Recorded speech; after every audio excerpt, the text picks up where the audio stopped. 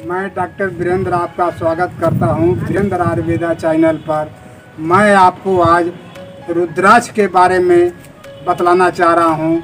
रुद्राक्ष जो है, हर व्यक्ति जान रहा है और इसको आयुर्वेद में हमारे महर्षियों ने क्या इसका उपयोग और गुण बतलाया है। मैं इसके बारे में आपको जानकारी देना चाहता हूँ। सर्वप्रथम रुद्राक्ष जो है, इसकी उत्पत्ति बिहार, बंगाल, आसाम, मध्य प्रदेश और महाराष्ट्र में होता है और जो रुद्राक्ष का वृक्ष जो होता है, वह मध्यम वर्ग का होता है, न ज़्यादा बड़ा और न ज़्यादा छोटा। और मैं आपको ये अब शुरू कर रहा हूँ कि आयुर्वेद इस रुद्राक्ष को किस रोग में इस्तेमाल किया है, या क्या फ़ायदा है, मैं ये बतला रहा हूँ। सर्वप्रथम बात और पित्त विकार में यह प्रयुक्त होता है। बात की जितने व्याधियाँ होती है और पीत की जितने व्याधियाँ होती है, उसको रुद्राक्ष जो है समन करता है। बाह्य प्रयोग, शरीर में कहीं भी दाह या जलन या पूरे शरीर में हो तो रुद्राक्ष का पत्थर पर घिसकर लेप करने से आराम मिलता है। और चेचक में जो दाना उठता है उसमें भी रुद्राक्ष का लेप करने से दाना बैठ जाता है और समाप्त हो जाता है। और अगर मानसिक शांति के लिए रुद्राक्ष का माला धारण करने से मन जो है विचलित नहीं होता है और मन जो है एकाग्र रहता है और शांत रहता है।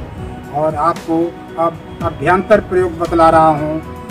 नाड़ी संस्थान पर तो मान मानस रोग में, यानी मस्तिष्क रोग में इसको उपयोग करते हैं रुद्राज का और अच्छा लाभ होता है।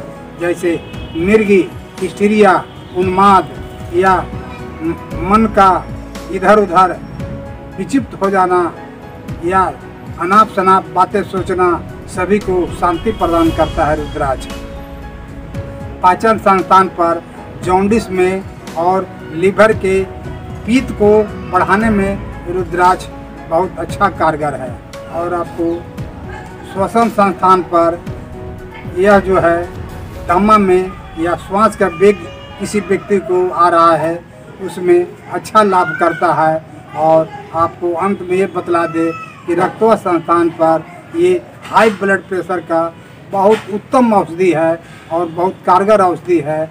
इसको सेवन करने से हाई ब्लड प्रेशर को सम्मान करता है। और हाई ब्लड प्रेशर को बढ़ने नहीं देता है। यह जो है, बहुत अच्छी है, औषधि है।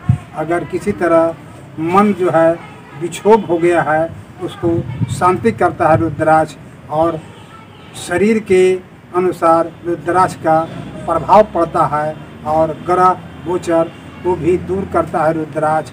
रुद्राक्ष का माला बहुत से आदमी धारण करते हैं और उन्हें मन की शांति मिलता है। और तसली मिलता है।